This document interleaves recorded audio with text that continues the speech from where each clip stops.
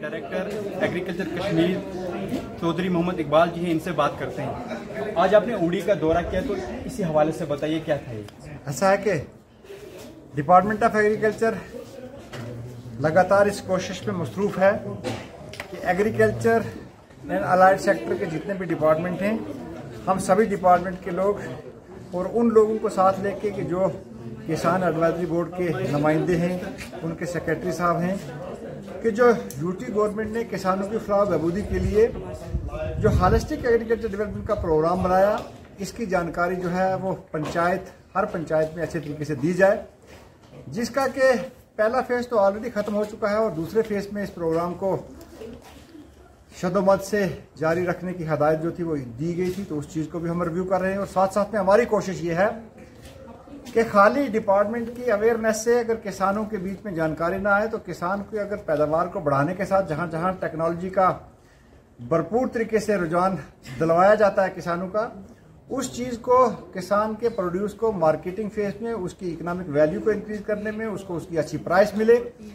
कि हमारी एफ़ जो बनती हैं सेल्फ हेल्प ग्रुप जो हमारे बनते हैं, उनका दायरा कार क्या होना चाहिए, उनका डोमेन क्या है, किस तरीके से उनकी जो आमदनी है तो किसान की आमदनी को डबल करने में मदद कर सकते हैं, क्योंकि हमारा किसान जब मेहनत करके अच्छा प्रोड्यूस देगा, लेकिन उस अच्छे प्रोड्यूस को किसी नेशनल या इंटरनेशनल मार्केट में लेके बेचने के लिए जो लवाजमात पूरे करने हैं, उसमें एफ़ का क्या रोल है? और रिसेंटली डिपार्टमेंट ऑफ़ एग्रीकल्चर ने डिस्ट्रिक्ट एडमिनिस्ट्रेशन के वसादत से यहाँ पे ये जो उड़ी एग्रोस फार्मर प्रोड्यूसर ऑर्गेनाइजेशन जो अभी रिसेंटली बनी, इसी की वर्किंग को रिव्यू करने के लिए, इसी के जो वर्किंग प्लान है उसको स्टडी करने के लिए आज डिपार्टमेंट ऑफ़ एग्रीकल्चर कश्मीर और किसान एडवाइजरी बोर्ड ने मिल के ये प्रोग्राम यहाँ पे मुनद किया, जिसके बीच में कि ये तय पाया गया कि आने वाले वक्तों में हम यहाँ तमाम डिपार्टमेंटों का एक बड़ा अवेयरनेस प्रोग्राम करेंगे और तमाम जानकारियाँ जो है वो देंगे और एफ़ की वर्किंग प्लान को भी दोबारा रिव्यू करेंगे। हम बात करें ओडी की तो एक वसी इलाका है, यहाँ पे जो है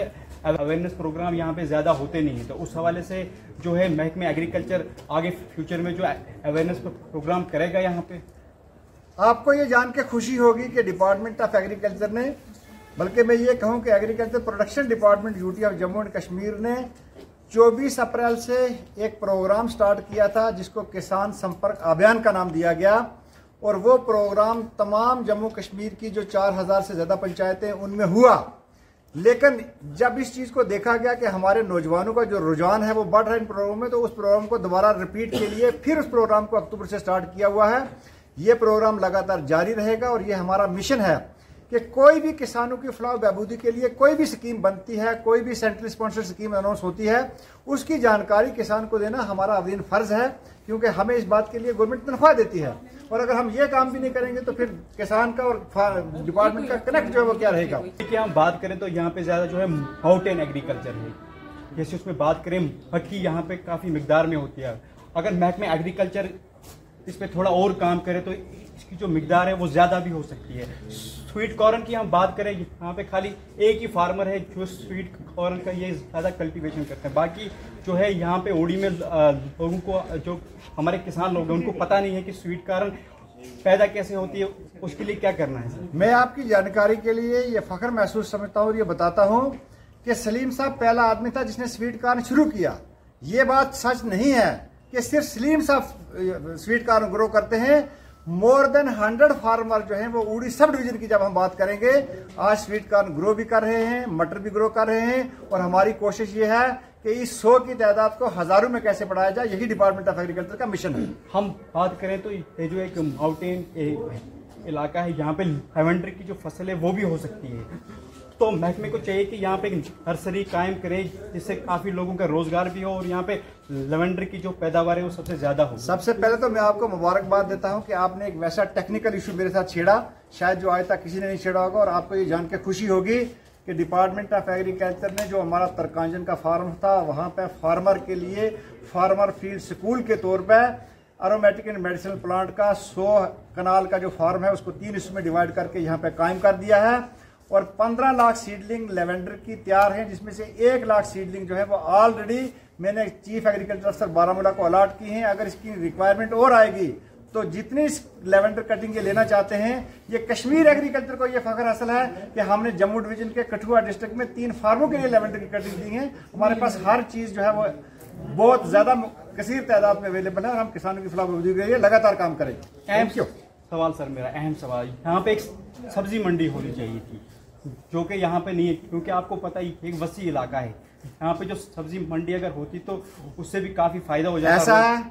आप मुझे यहाँ पे एक जगह दे दो मैं अभी अनाउंस करता हूँ कि सब्ज़ी मंडी के लिए तो मेरे पास प्रोविज़न है लेकिन मेरे पास तो जगह नहीं है। एक जगह दे दो तो सब्ज़ी मंडी के लिए पैसे मैं दूँगा। आखिरी सवाल सर मेरा। महकमे एग्रीकल्चर की जानब से कोई और नई स्कीमें लॉन्च होंगी? देखिए ऐसा है।